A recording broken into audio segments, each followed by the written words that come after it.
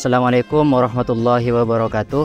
Alhamdulillahirrabbilalamin Kita masih diberikan kesehatan, kenikmatan Sehingga kita bisa melakukan hal-hal baik Jadi Alhamdulillah pada kesempatan hari ini Kami dari relawan G25 Indonesia bersama dengan teman-teman pemuda merealisasikan program dari G25 Indonesia, program spesial sosial charity kepada Ibu Natirah. Ibu Natirah, thank you. Ibu Natirah. Ibu Natirah dari Kampung Curek, Desa Lombang Lau, Kecamatan Belega, Kabupaten Bangkalan.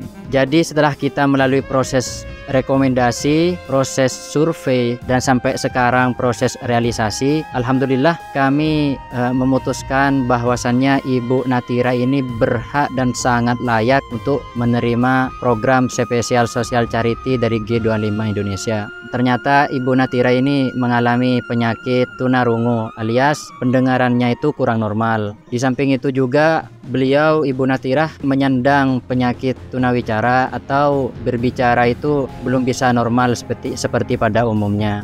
Jadi mohon maaf kepada seluruh relawan, seluruh teman-teman apabila pada kesempatan hari ini saya berbicara agak keras karena ini sudah kemauannya beliau kalau berbicara suruh agak kerasin dikit karena beliau pendengarannya kurang sehat. Untuk Ibu Natira nih Kak pernah kengeng bantuan dari pemerintah?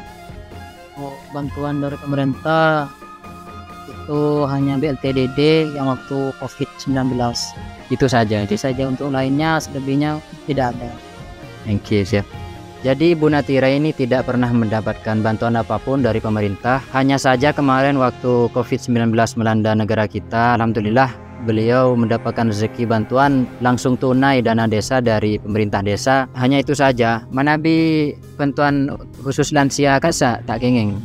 Kengeng pun.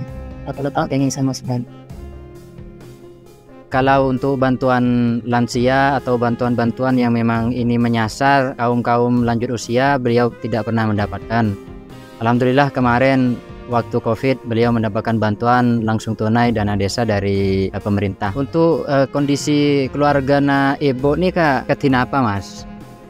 Untuk makin ibu Natira sekarang masih sebatang uh, karena lagi bana kota beribu saya ya saya Paulong untuk setelah tanah nikah sudah merantau semua ada yang tidak ikut keluarganya nah, untuk masalah kehidupan sehari-harinya Ibu Natira ini apa berharap dari luran tetangga baik saudara jauh maupun saudara saudara dekat uh, untuk kesehari-hariannya Ibu Natira aktivitasnya hanya kebersihan halaman sekitaran rumah saja untuk aktivitas seperti bertani bercocok tanam itu tidak alias tidak bekerja semaksimal mungkin.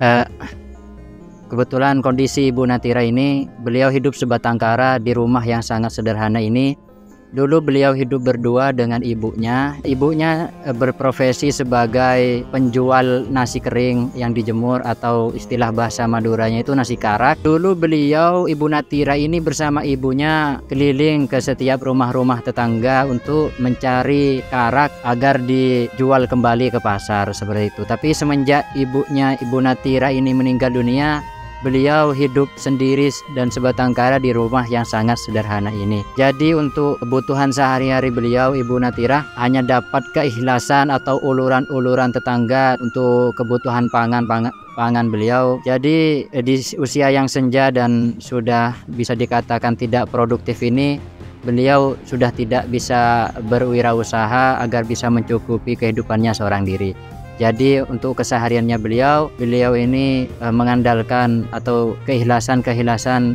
uluran tetangga dari tetangga-tetangga orang lain tersebut. Tetina, Bu, senang ki, senang, senang ki berengi bantuan dari G25 nih kak. Nah, tetina nih kak bantuan dari benih dari pemerintah ki. Nika bantuan ini dari Kelebun, Nika pentuan dari G25 Indonesia. Nika pentuan orang banyak. Saya pada pak de pancenengan nika. Kantora G25 Indonesia nika berenang pengkeran kota berenang tepatnya nang kecamatan Soca Oke bu. Jadi saya sedikit dengan apa yang dikatakan Jalaluddin Rumi. Apabila kamu merasakan sakit atas badanmu sendiri itu tandanya kamu masih hidup. Dan apabila kamu merasakan sakit yang dirasakan orang lain itu tandanya kamu manusia. Jadi demikianlah real proses realisasi program G25 Indonesia, program spesial sosial, sosial charity kepada Ibu Natira ini. G25 Indonesia memberikan hati membangun kemandirian sejati.